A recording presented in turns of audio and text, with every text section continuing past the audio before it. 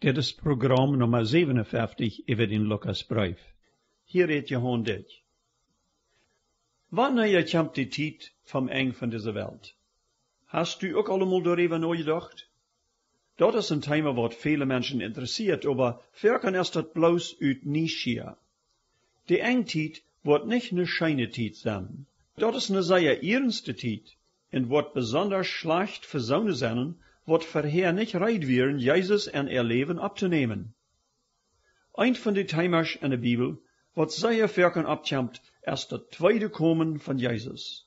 Mehr als 300 Vers im Neuen Testament reden davon. Von der kommen wir dann, was da steht, wo Jesus über die Zukunft redet, en wat alles passieren soll, ehe hij komt. Ik lood je nu aan de Bibel bij Lucas kapitel 21, vers 5 abzuschlonen. En onze laatste lektion hield we door ab, wo Jesus beim Tempel weer in Tausach, wo ne arme Früh zwei koppers en den Gotteskosten leed. Dit wie allemaal bloos een paar der ver seinem Storben. Den Dag hadden de Pharisäer en de Sadduzäer am Proft met Freuren en een Faulen lokken, dat ze endlich jeden am ne jeldje Beschuldigung hadden. Wo onze Geschichte von der anfangt, wie Jesus noch immer beim Tempel. Ik neem aan dat wir meist ovend in de scheine Uitstromung om Tempel wird besonders Schmack en de Ovendzon geblenkert haben. De Jünger, en die wat met am Taub wären, mochten sich über dit wunderbare Gebiet getiert haben. Vers 5 im 21. Kapitel fängt so an. Dann, als einige am dorp aufmerksam merken, wo die Tempel mit feine Steine en Gott geweide Goven gesiert wir, seht hei, wat dat anbelangt, wat je hier seinen, do wordt ne tijd kommen, dat hier nicht ein Stein ab dem anderen blieben wird, die worden alle dolgebrochen worden. Dit wir nicht de Tempel, wat Salomo einmal gebaut hat. Die wir al bei 400 Jahren vorher von den Babylonier verstiert worden. Nodem hadden die Juden, wat von der Gefangenschaft terugkommen, in kleineren, einfacheren Tempel gebaut. Dann aber, von ungefähr 20 Jahren vor Jesus seine Geburt, hat Herodes angefangen, den Tempel weiter zu bauen, aber ditmal soll die meist so schein sein, als Salomo seinen. Dat diert viele Jahre, aber vorig wir. Herodes sein Tempel leitet sehr schmack, en so es uns Text sagt, wie de mit Gold in diere Steine gesiert. Kein Wunder, dat die Menschen, auch Jesus seine Jünger, sich dort evertierten. Aber Jesus sagt eine Zukunft nennen, en mot an alle ziemlich verblafft haben, als er seht, da wird ne Tijd kommen, dat hier nicht ein Stein ab dem anderen blieben wird, den ich wird dolgebrochen worden. Wat Jesus hier meint wir, dat die Tijd wird kommen, wo die Tempel ganz und gar dolgebrochen und vernicht wird worden. So kann keiner sich an die Stunde verstellen. Und so kommen furz die Früheren. Wir lesen nu Vers 7. Sie früheren am so, Lehrer, sei uns wann er dort passieren soll. En wat wordt er voor een teken zijn, woran wir seinen kennen dat die Tijd hier is? Nu werden ze nieuwsgierig, wat het meinen deed, en ze stelden am twee vragen. De eine wir, die Tijd wanneer dat passieren soll, en de tweede vraag wir, wat voor een teken deze Tijd wordt vooropgaan. Dat zijn ook verkende vragen wat mensen vandaag hebben. Ze willen die Tijd weten, en ook wat voor tekens dat geven wordt, eer Jezus waar komt. Jezus sagt an hier nu fehlet, wat passieren wordt, eer de tempel wordt vernicht worden, en dan later, wat passieren wordt, eer hij wordt wahrer komen. Vers 8 sagt, en hij zegt, post op, dat je niet verviert worden. Er worden vele komen en mine nomen en vergeven, echt te zijn. Dan is de tijd dichtbij, aber lot je nicht metrieten. Also das erste Tierchen wir, dat er Zonen komen worden, wat vergeven worden, dat zij de Messias wären. Dat meint eben, dat zij zich uitgaven als die Leider, waarop de Juden al vele Jahrhundert gehoopt hadden. En vers 9 redt Jezus wieder en sagt, en wann je van Krieg en Abruhr hieren, verst je nicht, dit moet alles erst passieren, aber dat eng kommt noch nicht fort. Also Krieg en oproer zijn nicht een teken, wils die heeft het nog immer gegeven en wordt ook wat eng te geven. Hij zegt dan, een volk wordt je in dat andere abstonen en een rijk je in dat andere.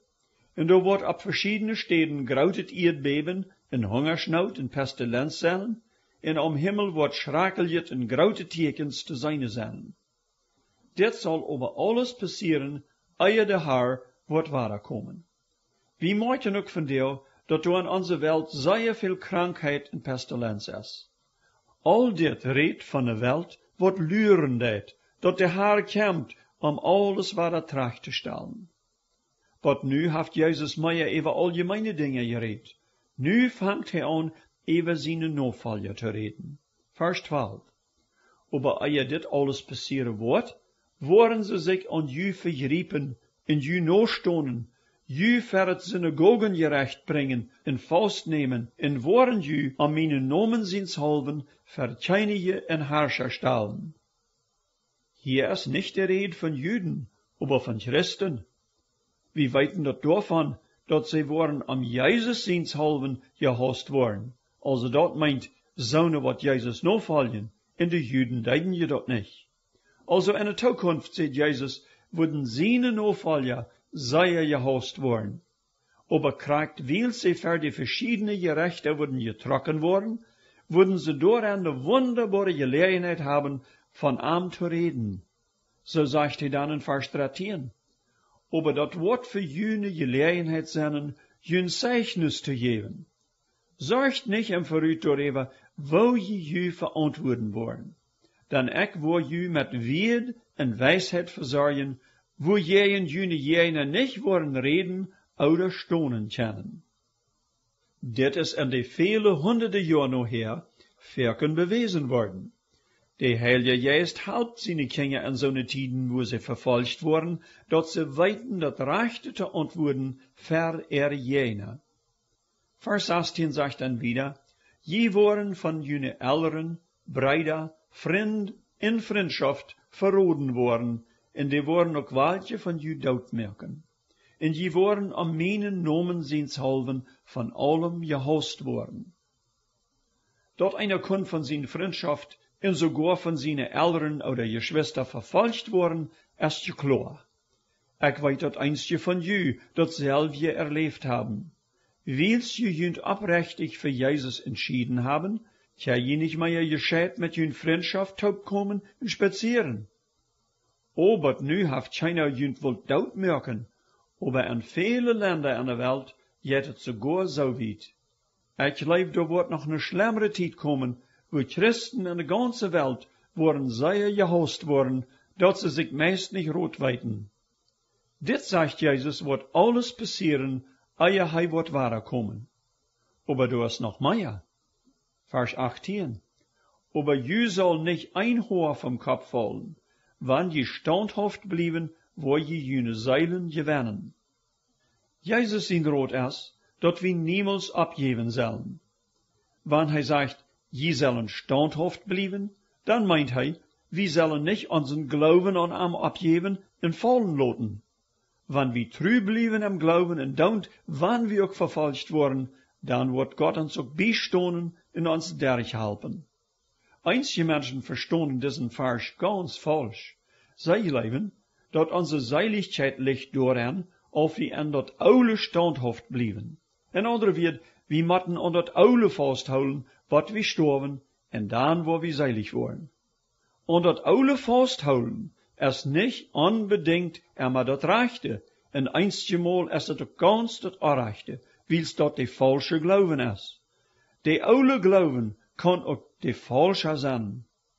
Denk je mal an unseren Vervater Menno Siemens. Wann hij wird sein bij dat oude gebleven, dann wird hij seinen katholischen Glauben festgehalten haben. Aber hij gaf den ab, als hij die Wahrheit von Jesus Christus hielt. Vielleicht musst du dat ook doen. Nee, diese Wider zijn an die geschrieben, wat an je grote Verfolgung stonden. Sie sind so sehr unter Druck, dass sie daran denken, ihren Glauben abzugeben, bloß dass sie das leichter haben würden und dass sie nicht mehr verfolgt wurden. Durchgehend warnt Jesus hier, dat sie doch standhaft blieben. Gott wird anhelpen. Wir gehen nu mit Vers 20 wieder. Wann je Jerusalem worden von Armeien belagert zijn, dan zal je weten dat het bouwd wordt en de grond gebracht worden. Nu sagt Jesus an ganz klar, über dort, wat zij am am Anfang früheren, als hij zei, da wird kein Stein ab dem anderen blieben, den nicht wird durchgeschmeten worden. Dat teken dafür, dat dit passieren wird, wie dat Jerusalem von Armeien wird belagert worden. Wat gewöhnlich gedaan wordt, wann die Römer eine Stadt wollen annehmen, wir, dat sie die Stadt erst belagerten. Dat meint, dat sie sich ram die ganze Stadt stalden en leiten keinen Rüt ook keinen Nen. Dan met de tijd wordt het eten en besonders dat water einer Stadt so knapp, dat die Stadt sich dann freiwillig ergaf. Einstje mal gelegt einstje Menschen dort, dat sie sich uit zo'n Stadt de Nacht Rüt brachten. Aber meistens worden die van de Armee gegrepen en doodgemelkt. Jezus jaft nu rood, wat ze dan doen zullen, wanneer dit aanvangt te passeren. Vers 21. Dan lot die, die in Judea zijn, en de boeien en lot die, die midden in de stad zijn, eruit gaan, en lot die, die op dem land zijn, niet in de stad komen. Dan in deze deel wordt raag geëifd, dat alles zo ramtjamt, als geschreven staat. Zonen in Judea zijn, dat meint zonen, wat anders in os in Jeruzalem woonden, die zullen nicht noch naar Jeruzalem gaan, aber lieber naar de boy ranen en zich versterken. Zonen wat in Jeruzalem wären, sollen so schwindesmäßig die Stadt verloten, wann sie die Armeien kommen sahen. Jesus nannt dit een dag van Rach. Dat meint, dat Gott nu seinen Oje über Jeruzalem wird uitscherden, wovon die Propheten lang vorher geredet haben. Bloß ein paar Jahre vorher hat Jesus über Jerusalem gehielt, willst du nicht erkennen, wat zu er Frieden deint. Dat meint, sie sagen nicht an, dat Jesus er Messias wir, en willst sie am verachten, in wachschauen, wird Gott an dafür bestrafen matten. En für diese Strophe wird Gott der Reimer brocken.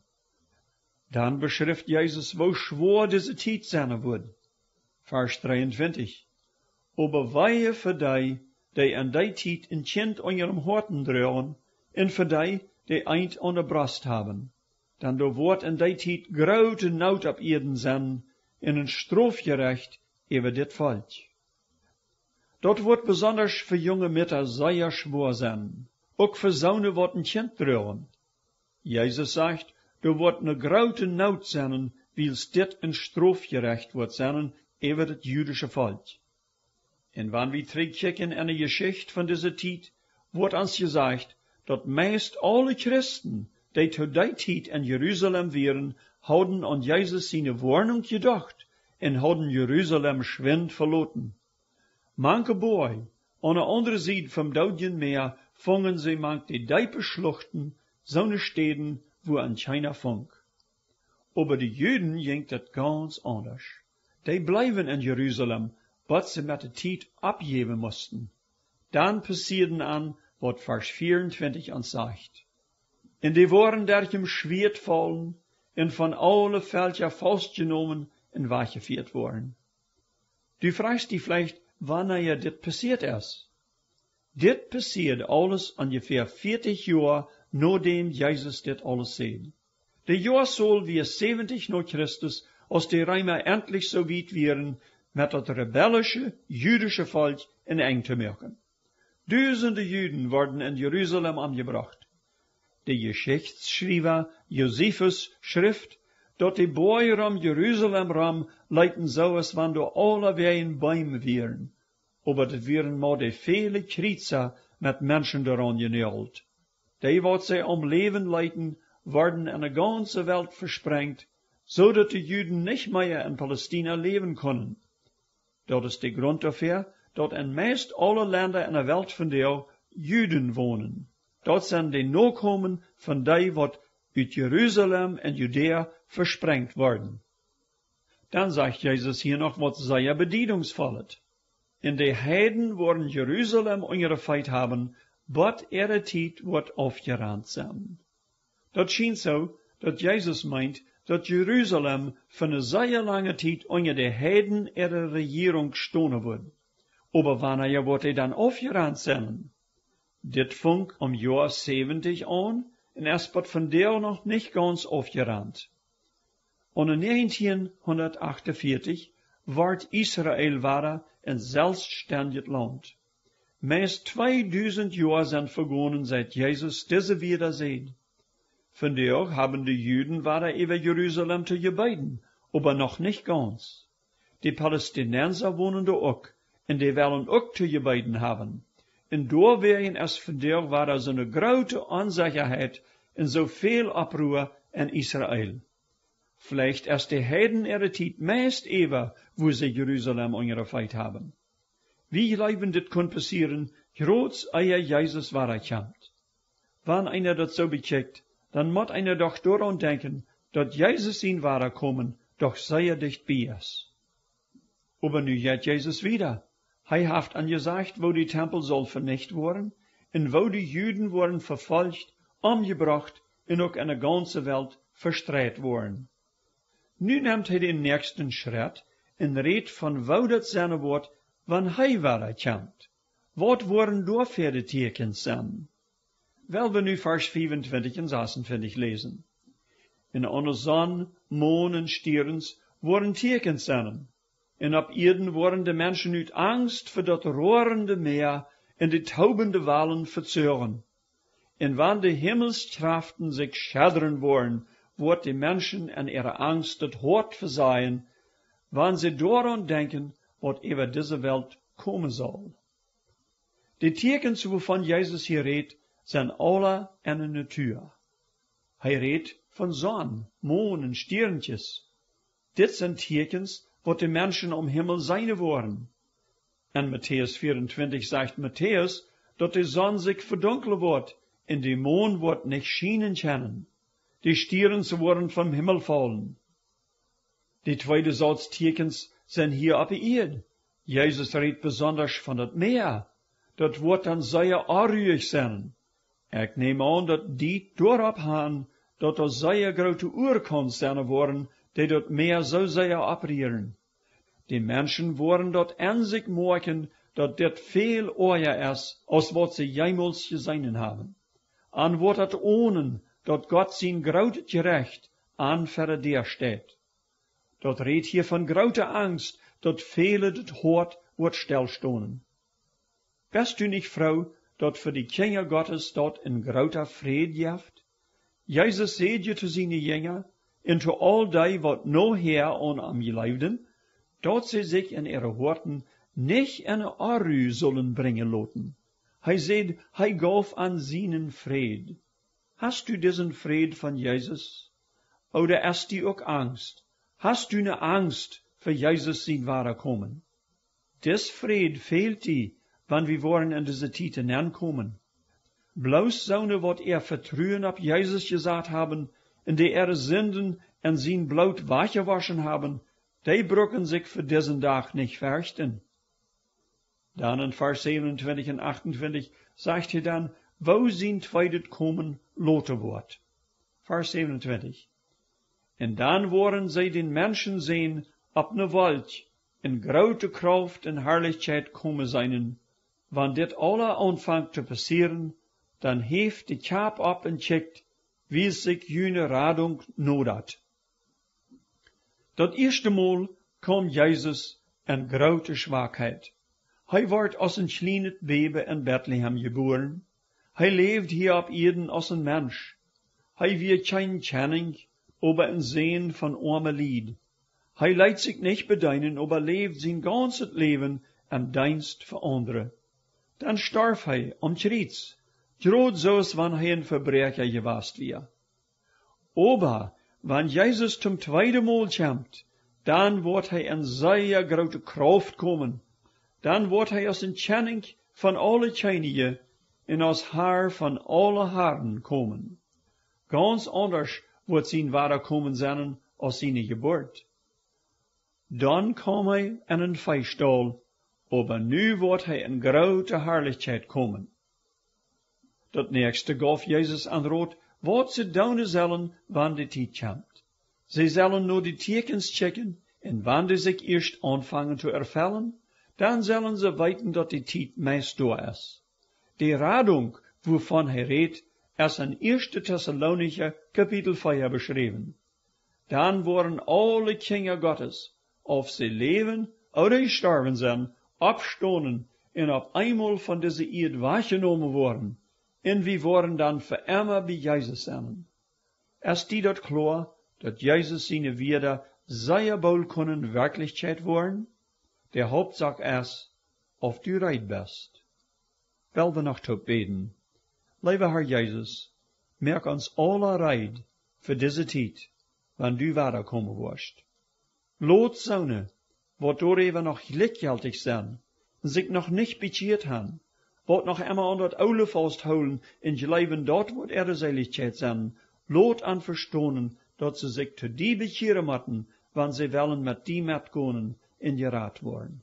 We beten dit in Jezus namen. Amen. Wann je nog vragen han, über dat wat je op dit programma gehoord han, mijn telefoonnummer is 204 346 0523. Ik wens je allen een goede week. Op hier.